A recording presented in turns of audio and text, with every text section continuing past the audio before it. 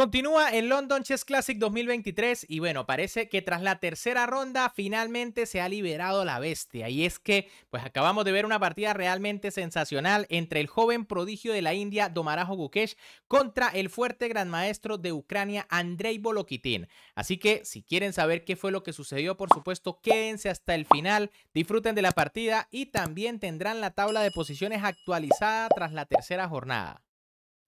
Con las piezas blancas, en esta ronda número 3, el gran maestro Domarajo Gukesh iniciaba con la jugada C4, aparentemente una apertura inglesa, mientras que con las negras, el gran maestro de Ucrania Andrei Bolokitin respondía con caballo F6, caballo C3, C5, G3 y D5. Las negras deciden jugar abierto. Eh, Gukesh aquí captura el peón de D5, lo más normal, caballo por D5, alfil G2 atacando al caballo, caballo C7 y ahora B3, una jugada un tanto secundaria pero que bueno, tiene mucho sentido, ¿no? La idea es desarrollar el alfil por B2 para intentar controlar la gran diagonal de casillas negras. La otra posibilidad en esta posición es D3, ¿no? Lo más normal. Tras la jugada E5 viene caballo F3, caballo C6, enroque. Y bueno, fíjense que básicamente estamos jugando una variante, una defensa siciliana variante del dragón, pero con las piezas blancas, mientras que las negras pues están jugando una estructura tipo Marozzi, ¿no? Muy interesante. Pero en vez de eso, tras B3, ¿qué fue lo que hizo Gukesh? E5 por parte de Boloquitín, que bueno, igual mantiene el plan de jugar tipo Marozzi alfil B2 de las blancas, alfil E7, torre C1 y enroque. Bueno, con esta jugada las negras van a plantear una idea muy agresiva y es que van a sacrificar un peón. Otra jugada más eh, tranquila en esta posición es F6 para defender el peón de E5. Y tras caballo F3, caballo C6 y enroque, pues tenemos una posición más o menos igualada. Pero tras enroque, Gukesh juega inmediatamente caballo E4. Y fíjense que se amenaza el peón de E5 y el de C5. Y no se pueden defender ambos. De hecho, Boloquitín decide jugar B6. Obviamente ya sabía que iba a sacrificar un peón. Porque defenderlo con dama de 5, que es la única jugada que quizá defiende ambos peones, pues sería un error súper grave porque viene caballo F6 y la dama se cae, ¿no? Pero tras la jugada B6, Gukesh juega alfil por E5, decide comerse el peón. Había una línea muy interesante aquí, ¿no? Sumamente agresiva, que era caballo C3. La idea, por supuesto, atacar la torre de A8 pero es que las negras están dispuestas a sacrificar incluso la calidad. Tras dama de 7, alfil por torre y caballo por, las negras van a tener compensación pero posicional por las casillas blancas. Por ejemplo, si caballo F3, caballo C6, el alfil se dirige a B7 y las blancas deben tener mucho cuidado cuando se enroquen por los temas de mate. Por eso Gukesh decide no complicarse, sencillamente se gana el peón, alfil B7 por parte de Boloquitín y ahora alfil A1. Por supuesto la idea de este movimiento es intentar un tuco táctico con caballo F6, jaque a la descubierta y ganarse el alfil. Fíjense que de inmediato no funciona porque tras peón por se amenaza el alfil de casillas negras. Y si alfil por B7 viene peón por, alfil por torre, caballo por y sencillamente las negras se quedan con dos piezas por la torre, lo que por supuesto no le favorece a las blancas. Por eso, eh, simplemente Gukesh decide jugar alfil a 1, dama C8 por parte de Boloquitín, defendiendo el alfil, y ahora G4, de nuevo una jugada aquí bastante interesante por parte de Gukesh, que tiene dos funciones. La primera, evitar F5 por parte de las negras. Y bueno, la segunda, tender allí una pequeña trampa a las negras, ¿no? Por ejemplo, si dama por peón, pues sencillamente viene caballo F6, alfil por y alfil por B7 y las blancas van a ganar material. Ahora, tras este movimiento, eh, Boloquitín juega caballo E6, que en realidad no es la mejor jugada, ¿no? Era un poco mejor caballo C6 para continuar con el desarrollo. Si G5, por ejemplo, para seguir evitando F5, pues viene dama de 7, ¿no? Y a cambio del peón, las negras tienen una posición bastante activa. Pero tras la jugada caballo E6, caballo H3 por parte de Gukesh, caballo C6 de Boloquitín, E3 y ahora caballo B4. Muy buena jugada de las negras que básicamente va a recuperar el peón, ¿no? Pues se amenaza caballo de 3 jaque y caballo por A2. Gukesh no tiene problema, se enroca sencillamente defendiendo el alfil de G2, asegurando su rey caballo por A2, torre B1 y ahora caballo B4. Una jugada que diría yo se ve muy normal, ¿no? La haría quizá el 99.9% de jugadores. La idea es retirar el caballo antes de que sea amenazado o sea molestado por alguna pieza. Sin embargo, en este momento esa jugada es una pérdida de tiempo importante. Aquí lo correcto era dama de 7. El caballo puede salir cuando lo desee por B4.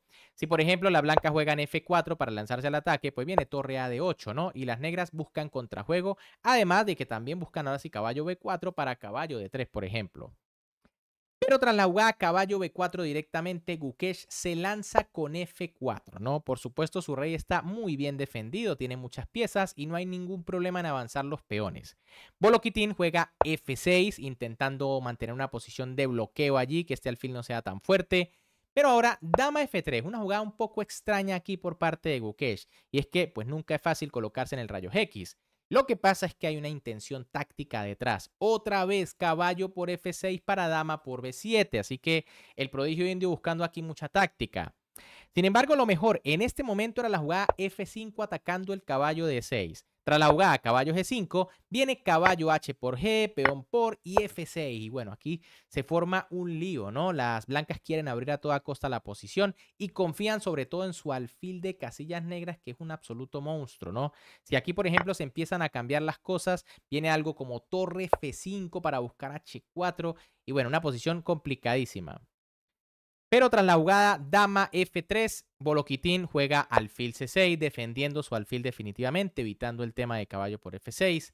F5 por parte de Gukesh, caballo C7, error aquí de Boloquitín, que tenía que jugar caballo G5, jugada que no es fácil de hacer, porque por supuesto tras caballo por y peón por se abre completamente la gran diagonal.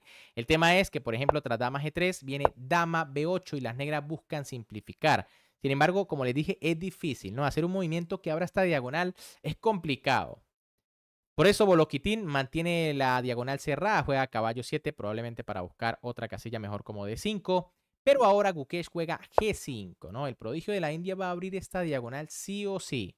F por G5 por parte de Boloquitín, dama G3 de Gukesh que ataca el peón, también pone un ojo por allí sobre el caballo de C7 y H6. Bueno, las negras intentan quedarse con ese peón de ventaja, pero esta jugada es un error, pues va a debilitar mucho la posición del rey negro. Lo correcto aquí era alfil por E4, de nuevo una jugada difícil de hacer y es que con la posición tan abierta, entregar la pareja de alfiles es complicado. Aquí tras alfil por E4, parece que las blancas tienen una pareja de alfiles maravillosa. Las negras sí podrían jugar H6, pero definitivamente las blancas están mejor. Ahora, tras H6 directamente, el problema es que Gukesh se lanza con F6 aprovechando que el caballo está en E4 y puede apoyar al peón de F. Y ahora, bueno, aquí las negras sí ya están en graves problemas, ¿no? Boloquitín juega G por F6, que es una jugada totalmente perdedora. Lo correcto era alfil por F6, aunque, bueno, igual las negras deben estar perdidas. Tras caballo por F6, torre por, alfil por, y si alfil por G2, dama por G2. Fíjense que se amenaza eh, retirar el alfil y quedarse con torre de más. Y si G por F6, pues viene torre por F6. Las blancas tienen una calidad de ventaja, el rey está en una posición crítica y de hecho en cualquier momento se vienen golpes tácticos como caballo G5. Ahora, G por F6, digamos que pierde un poco más rápido porque Gukesh juega alfil por F6. Las blancas, las negras juegan alfil por E4 intentando simplificar y ahora caballo por G5, ¿no? Aquí Gukesh demostrando sus dotes tácticos, ¿no? Sacrifica el caballo con tal de abrir toda la posición del rey negro.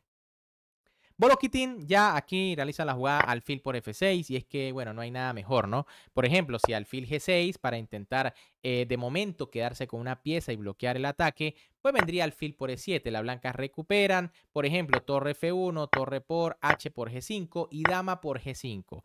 Las negras siguen con una pieza de más, pero el ataque blanco es decisivo. Por ejemplo, en esta posición se amenaza el alfil. Si se defiende, por ejemplo, con dama E8, viene torre F6 y bueno, los temas de mate están a la orden del día. Ahora, en este momento, si H por G5 directamente, por supuesto viene dama por G5, rey G7, dama G7 y tras rey E8, dama por alfil mate. Boloquitín por eso juega alfil por alfil, intentando simplificar, pero ahora torre por F6. Se amenaza torre por H6, se amenaza retirar el caballo con temas de mate. Torre por F6 por parte de Boloquitín. Caballo por E4. Jaque a la descubierta de Gukesh. rey H8, caballo por F6 y dama F5. Fíjense que en esta posición ya se amenaza una jugada como dama G6, durísima. Por ejemplo, si torre B8 para quitarse la amenaza del alfil, dama G6 es mate inevitable en dos movimientos. No se puede parar el tema dama por H6 o dama H7 mate. Ahora, tras dama F5, Gukesh juega torre F1 e igualmente Boloquitín decide abandonar porque ya está totalmente perdido, ¿no? Se amenaza la dama, se amenaza la torre en A8, se amenazan temas de mate con la dama también. Por ejemplo, si dama G5 para intentar simplificar entonces, viene dama por C7. Las blancas tienen una pieza de más a cambio de absolutamente nada. Además, por supuesto, del ataque devastador que tienen sobre el rey negro. Bien amigos, ¿qué les pareció esta partida? Espectacular aquí el prodigio de la India Domarajo Gukesh que continúa como líder del torneo, eso sí, no en solitario como lo pueden ver aquí en la tabla de posiciones. Fíjense que el que lo está persiguiendo es Michael Adams, la leyenda viviente, creo que actual campeón del mundo senior. Ambos llevan dos puntos y medio de tres rondas, seguidos por allí en el tercer lugar de Hans Niemann, que lleva tres tablas, ¿no? Empezó por allí muy tímido Niemann, vamos a ver qué sucede en las próximas, pero de momento son los únicos tres jugadores invictos, así que este torneo está bastante interesante. De hecho, esperamos el duelo allí de generaciones entre Gukesh y Adams. Vamos a ver qué sucede. Si les gustó la partida, como siempre, me pueden apoyar dándole un buen like al video, suscribiéndose al canal y activando la campanita porque seguimos muy pendientes de este torneo y también de los próximos que se vienen. Un gran, un gran saludo para todos, se me cuidan y nos vemos en el próximo video.